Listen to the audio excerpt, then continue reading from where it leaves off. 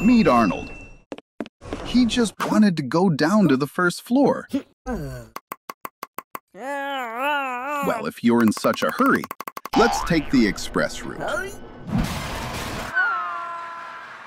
Congratulations, Arnold. You're now falling faster than your self-esteem after high school graduation. The elevator cables snapped. The brakes failed. And you, Arnold, have three seconds to figure out how not to become a meat casserole in a metal coffin. The elevator is moving at 60 miles per hour, the speed of a leopard. Or, well, pretty much anyone who's falling. It's an express ticket to the underworld. No stops. Awesome inferno flip, Arnie! the hellish judges are thrilled. Hmm. Hmm. But it's time to head back to the elevator. Stop shouting and smashing the buttons, Arnold. Typing into Google how to survive a falling elevator in three seconds. Three, two, one, and Google doesn't have time to load. Physics says during freefall, the body and the elevator accelerate equally. So Arnold feels weightless, like an astronaut, except without the suit, the air, or the future. When the elevator hits the ground, it stops instantly. But Arnold's organs don't. They keep moving inside him, like passengers on a bus without seatbelts. A true biological sandwich. We deliver anytime, anywhere, even to falling elevators. Arnold, the exit's on top of the bag. And yeah, dude, you're still falling. Wait, look! Google finally loaded a tip. Jump right before the impact. Genius.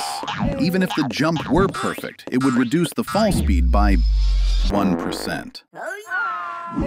That's like putting on a helmet before a nuclear explosion. you look prepared, but you're still fried. But hold on, there's still hope. If you lie flat on the floor, the impact spreads evenly across the body. Theoretically, you could survive if the elevator fell from the second floor, or if it were made of marshmallows. No? Then just relax, Arnold. Gravity will do everything quickly, efficiently, and, well, painlessly. For it, not for you. Everything worked perfectly. The impact really did spread evenly across every bone. Wait, are you in a coma? Looking at you, you'd think you're dead, but you're still alive inside. In a coma, you're unable to respond to external stimuli. Because of this, you'll be the best K-pop fan. And you'll be able to listen to the same song on repeat for years. People can be in a coma from a few days to a dozen years. Edwarda O'Bara fell into a coma at the age of 16 and spent 42 years this way. According to patients, during a coma, they feel like some kind of matter. Hmm. They wandered along long and damp corridors, mazes, went through complex oh. mechanisms. The degree of a coma is determined by the Glasgow Coma Scale, where 15 points is clear consciousness and three points is brain death. Arnold, they're gonna turn off the machine. Wake up, uh-huh. and I promise no more experiments on you. There's a light at the end of the tunnel. Come on, Arnie, you can do it. I never thought I'd say this, but you really had me worried. How are you feeling? Are you speaking Klingon? You became one of those who, after a coma, forgot their native language and began to speak in a completely foreign language. That looks really bad. You need immediate hospitalization. You're not going to make it to the hospital. Your heart could stop. You need an emergency blood transfusion to maintain pressure in your circulatory system. During the Vietnam War, coconut IVs were sometimes used to treat the wounded. Amazingly, coconut water is quite similar to human blood plasma. So, what do we have? Cola. Okay, let's get to work. But first, you need to get rid of all the gas. If the gas contained in the drink gets inside your blood vessels, it'll literally tear you apart from the inside. Cola contains sugar, glucose. This is a perfect source of fast energy and allows you to really perk up. It seems to have worked. The cola has taken root in your body. But your appearance has changed just a little, buddy. Even oh. your hair has changed color. But on the other hand, you'll be a most welcome guest at any children's party. With so much caffeine in the cola mm. running through your veins, you only have to sleep once every three days. Now, you have much more time than regular people. After all, even professional athletes drink cola for a quick dose of energy. And you can always get a refill at the nearest supermarket. No, stop, you kamikaze nutball! Just one single Mentos could turn you into a surface-to-air missile. Don't worry, it won't ruin your day. Cola even helps combat mild depression. But to be honest, Arnold, cola in your blood is actually deadly. So, you're saving innocent souls, are you? Be careful not to get yourself into trouble. Phew! Seems like you dodged a bullet there. Or not. I'm guessing you're to be stuck here for a while, and you'll have to survive without any food at all. Try to imagine you're Angus Barbieri, a man who didn't eat anything for over a year. Shocking doctors. He lived a normal life, going to the toilet just once every 40 days. At the end of his fast, he weighed 180 pounds having lost 275 pounds. After 12 hours of fasting, you turn pale and weak. But a fat person feels better because they have fat tissue reserves. At this time, dizziness sets in and an unpleasant smell comes from the mouth. Oh, Arnold, there's water here. See, Arnie, always look on the bright side of life. Fasting can serve good purposes. Gandhi fasted for three weeks in protest against the caste system in India. Christian mm. Bale lost 66 pounds for his role in The Machinist. And medieval monks fasted to hear the voice of God. Like if you wouldn't last a single day. Unlike a person's mind, on the fourth day, the body accepts hunger as a given. During this time, a sharp loss of weight is observed, along with weakness. The body always needs food. So when it's not there, it has to use fat and muscle tissue. This releases ketones, which are extremely harmful to the body. Headaches and weakness develop. And in the worst cases, there's vomiting with gastric juice, confusion, and even death. After two weeks, you'll have a constant feeling that you're cold. Your consciousness often becomes cloudy, and you don't understand what you're doing. Ah! Oh, Oh, Arnie, here comes help.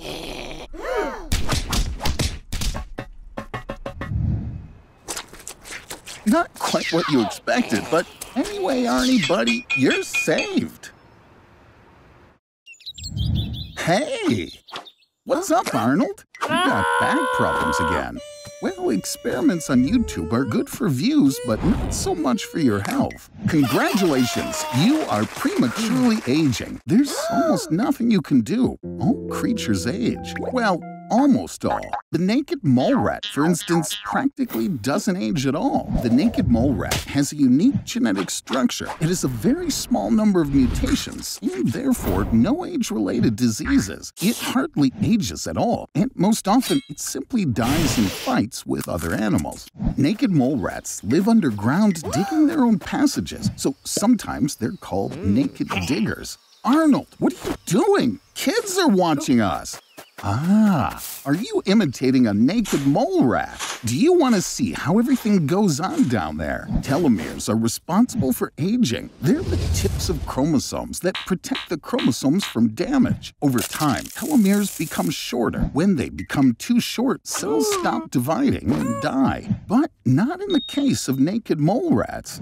Be careful. As I said, mole rats live underground and are typically very aggressive. Naturally, since they don't die from diseases, fights are the only thing that somehow regulates the number of mole rats. Without fights, mole rats would have overrun the Earth long ago. The naked mole rat is not the only animal that doesn't age and dies young. Among the ageless animals are also turtles, whales, jellyfish, fish, and salamanders. In general, a bunch of things that fly, swim, or crawl. Apparently, walking is harmful.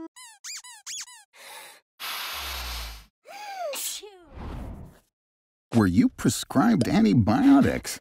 Don't be scared, but they always do have a bunch of side effects. Hang in there, it'll pass. Don't do that, Arnold. Bacteria can adapt to antibiotics and develop immunity to them. That's how resistant bacteria emerge.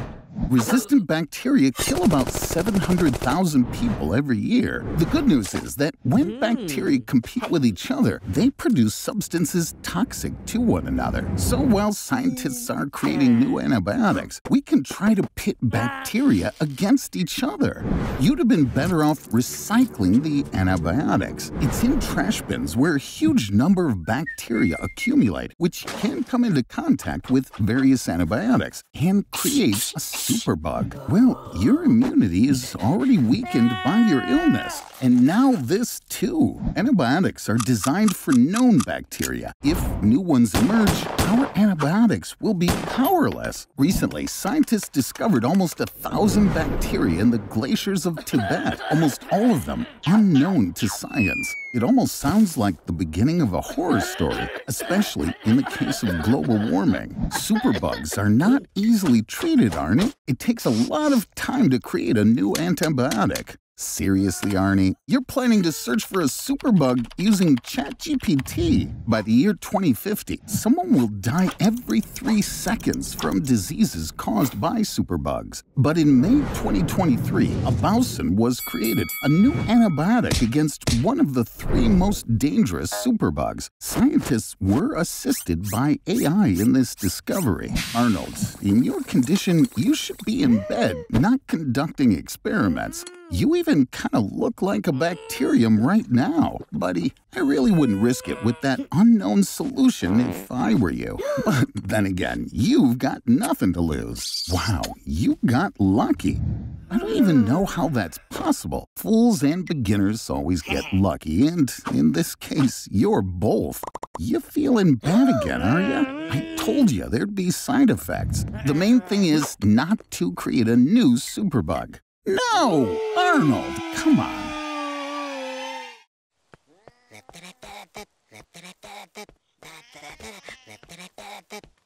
It seems that he's about to be robbed by a homeless bum. Or rather, he could be robbed if this lazy lunkhead at least had some money. Thank God. I was scared he was going to steal my camera. Let's see what's wrong with him. If he would have brushed his teeth even once, would have definitely noticed he has an ulcer that hasn't healed for several weeks. This is a very alarming signal, and I know what to look for. Cancer. Even the frailest body creates millions of cells every day, but sometimes a bug occurs, a mutant is born, a cell that's different from the others. But it tries to hide this fact as much as it possibly can. If you have a healthy body, your immune system will easily detect this wayward cell. But if your body is engaged in constantly trying to treat itself, then it has no energy left to fight the cancer. Do you want one for yourself, Arnold? Easy. If your parents had cancer, then there's a 10% chance you'll get it too. No? A mutation can also be caused by radiation. For example, visiting the Chernobyl nuclear power plant without protection, or living for a thousand days on the International Space Station. You could also smoke six cigarettes a day, or eat two kilograms of smoked meat for 10 years. You won't even have time to blink, as this cell will turn into a huge cancerous tumor. Look, the food inside of him can't even get to the stomach. Mutated cells make their way into the bloodstream and then spread throughout the body, into the liver, the lungs, and the brain. It's time to apply poison. Chemotherapy doesn't cure cancer, it kills it. But healthy cells also have to die along with the cancer. Arnold, get out of there! Now we just have to wait. Or we can just... Run! Run, Arnold!